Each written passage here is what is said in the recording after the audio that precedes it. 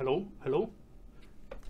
Hi guys and welcome back to SiteEng. Uh, today's video going to be the last covering the TS15 EDM and in today's video I'm going to show you two most important programs you need on site and I'm going to show you how to use them especially when you're going to be doing the drainage. This is a video number 5 from Know-How for Engineers and in the next video I'm going to go back to TS06 and I'm going to start covering the local grid and show you how to use the stakeouts and all the stuff to make your life very easy while doing the setting out. So yeah guys, let's go.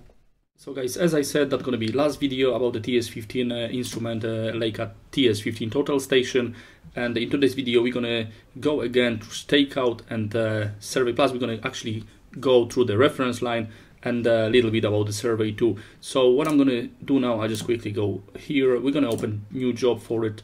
Let's put it as a drainage here as I'm gonna show you something when doing the reference line we can use a different height as well. We're gonna keep it in SD card. It doesn't really matter.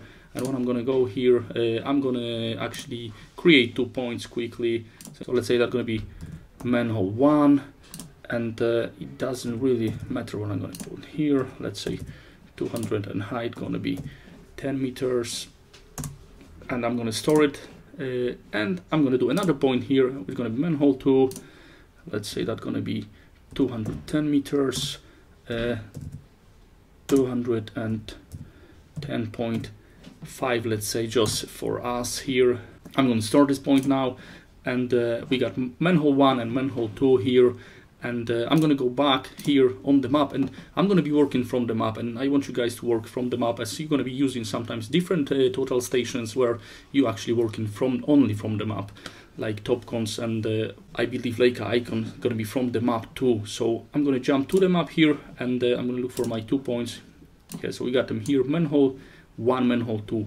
So the programs you need to know well, guys, when you start on site, obviously apart from resection, which is the first and most important thing, but you can see this on my video. When you set your EDM, that's the programs you need to know, and that's gonna be stakeout and the reference line and the survey is, is other thing but stakeout and reference line are the most important programs guys because once you know them well you can do actually all the jobs needed from you as an engineer as a site engineer on site. So what i got here i got two points. So what i can do i can press them two points press here and hold and i could create a line here as we go. So i'm going to press create line. The line is created. I can press the line now. I can press and hold again and i can edit the line. Uh, i can call it maybe let's say run number one and I'm gonna store it like this. So that's my run number one from the manhole one to manhole two. And guys once we want to set up the manhole once we ask to set up the manhole we obviously going to use a stakeout program. So we can press this point here we can tap and hold and then we're going to take the point and we're going to press the distance. And uh, this obviously you can see on my setting out series when I'm showing this how, how it works in real life how you're going to be using it while you have the EDM set and you're going to be using the prism or you're going to be using the reflector less but this you can see on the other video.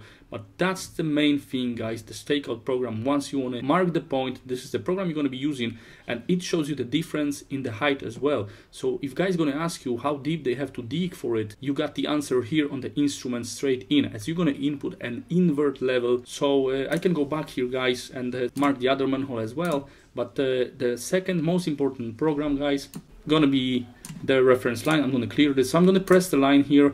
You can see these guys as well on my setting out series, but I'm just gonna show you different thing here as we're gonna use it in a reference line. But this time, as I usually stake the line just to mark the line, but this time guys, we want to use a measure line as we're going to be measuring the line and at each point we're going to be measuring the instrument going to show us the height difference to our line and this is very important why we're doing drainage and that's the reason why I call this job drainage manhole 1 and 2 as this going to show you this a better way so we're going to put measure line and this is point ID we're going to be measuring but doesn't matter as we're not measuring we're not storing this point we're checking the distance so you can see this 100, 200, yeah, so that means obviously my station is here 0, 0, but is a simulator here. And once you have your EDM set on site, this show you distance along the line, line offset, and the most important thing in terms of drainage, I'd say this is the height difference. I'm going to show you when I was surveying the the drainage uh, pipe so that's going to maybe open your eyes a little bit more as you can see while we're going to be shooting the invert level straight in that should be zero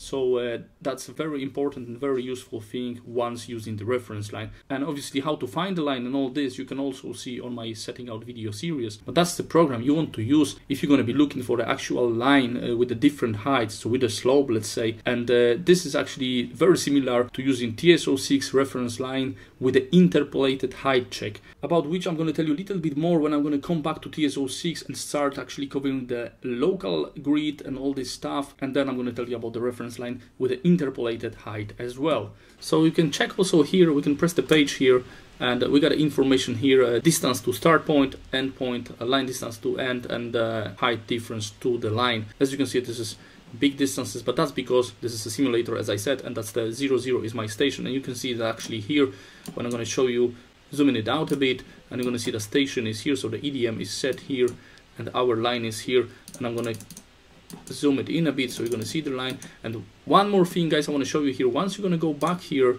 you got the information about the line so you got the length of the line. And as I said we measuring from the line so you want to make sure the heights to use going to be taken from the line. So that's the setting here. And we can actually pressing the page here. You can also reverse the line. So once you're going to be measuring the line the line distance going to be taken from this point to this one. And once reversing here this is going to be first one and this is going to be second one so this guys is very useful uh, because when you're going to be on site you're obviously going to be going from the one manhole to the other and this is going to be dependent from uh, which one going to be your first one and uh, then you're going to reverse to the direction you're working. So guys uh, that will be all into this video. It's a quick video here just want to make sure you know how to use a stakeout program and the reference line as you probably won't be asked for anything more than that. And once you know these programs very well that's it guys. You can really start on site and you can start all the exercises on site. So guys uh, as i said that's going to be last video covering the ts15 and programs about it. And uh, once you know these programs obviously if you want to know more if you want to expand your knowledge you're going to learn more programs as there's a load of useful other stuff here. But honestly once you know these two programs you are good to go and that's really enough for you working on site. So guys uh, let me know if you need to know anything else about the ts15 please leave the comments below. And uh, of course don't forget to subscribe to my channel and leave the thumbs up. This helping grow this channel and grow our community of engineers